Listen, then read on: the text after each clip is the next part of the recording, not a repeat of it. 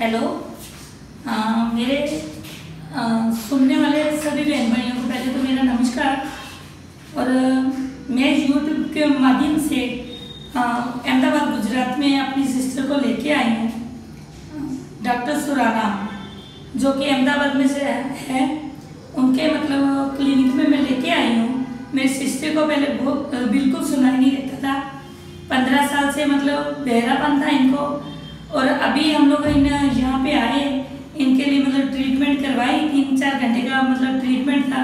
करवाने के बाद इनको थोड़ा सुनाई देने लगा कंफर्टेबल लगने लगा। तो ये मतलब मेरी बात को समझ पाते हैं अभी थोड़ा। तीन घंटे के ट्रीटमेंट में अगर इतना हो सकता है तो अगर हम तीन चार महीने का मतलब कि ट्रीटमेंट करेंगे तो हमको और भी अच्छा मतलब कि लगेगा।